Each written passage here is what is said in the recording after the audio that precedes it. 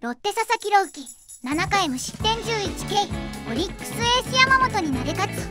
ロッテ佐々木朗希投手が14日のオリックス戦に先発。7回1安打無失点11奪三振でオリックスの絶対エース山本由伸との投げ合いを制し今季2勝目を手にした。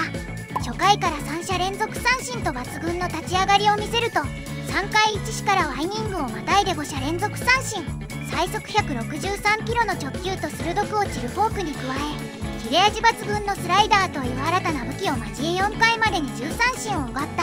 5回まで走者1人も出さないパーフェクト投球で昨年4月10日のオリックス戦での完全試合に続く快挙の予感を漂わせた。すげえゲーム。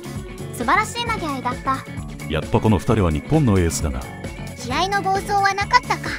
山本に投げ勝つとは朗希をやったたまには投手戦もいいよね。いつもこれじゃよしやってられん。見応えあったね。この2人はさっさとメジャー行け。だるい枠間田中将大レベルにはなるだろう。さすがは注目されている投手の投げ合い。満員やんか。オリックスは1安打じゃ勝てんわな。山本由伸は1勝損した。